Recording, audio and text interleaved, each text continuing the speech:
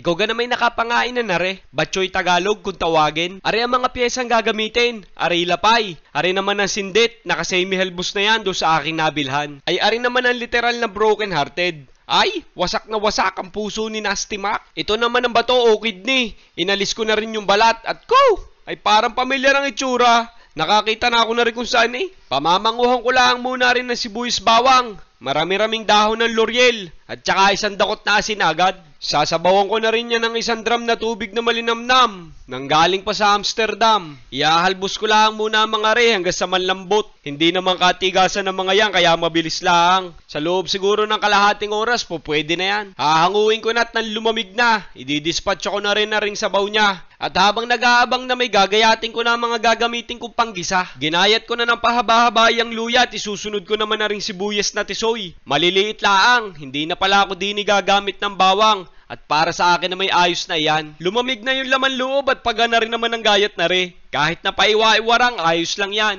Walang problema. Dagdagan ko pa ng lomo, tenderloin ng baboy. Sasamahan ko na rin ng kaunting atay, ganun lang din kahit paiwa-iwarang. Lilinisin ko na rin aring mahal kong sangkalan. Dami nang ang gasgas, pero ayos lang yan. Battle scars ang tawag dyan. Sinisipag ako maghimay, kaya sisimutin ko na. Ayan o, parang nadaanan ng bagyo ang itsura. Ari-rated SPG, may masiselang tema. Buo-buong dugo ang gagamitin. Dudurugin ko lahat ng bahagya. O siya, makapag-umpisa na nga mag-isa. Siyempre, mamantikahan ko muna. Unang sasalang dyan ng luya. Mas marami, mas masarap. Tuloy-tuloy lang hanggang sa mga moy at kasunod na niya ng ating sibuyas na tisoy. Bigyan ko lang ng kaunting oras sa paghahalo para sa pagigisa pa lang, masarap na agad. Ari yung mga inihalbos nating laman loob kanina, ilalagay ko na. Are, matagal-tagal na sang kutsahan. Mas maganda yung matusta-tusta na. Mararamdaman mo naman iyan pag namumutok at makapit na. Ibig sabihin, ilalagay ko na ring laman. Yung lomo kanina. Napakalambot naman yan. Halos mainitan nga lang. Kapag ka namuti, luto na yan. Habang nagsasangkot siya pa, ay palalasahan ko na ng patis para kapit na sa laman. Matapang-tapang na. At saka lalagyan ko na rin ng basag na paminta, mga isang kutsara lang muna. At baka naman makaaskar na sa dami ko na rin nailagay na luya. Tuloy-tuloy lang sa paghalo at syempre sa bandang huli naman na ring atay.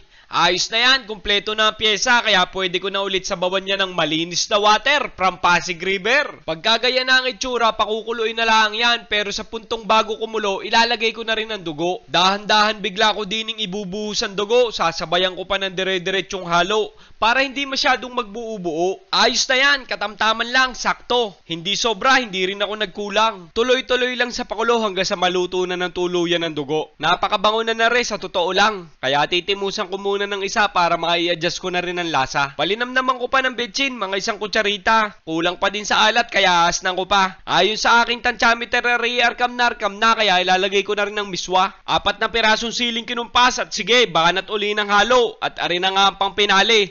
Yung hinumay ko kaninang dahon ng sili. Naku po, Diyos ko po. Nakikita-kita ko na naman ang mangyayari din eh.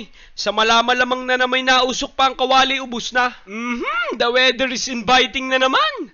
Pagkakasarap na naman na rin partneran, sabay pipisain mo sili at pipigaan mo ng kalamunding yan, ay pagkakasarap gang umigop abaw, sabay tulog later.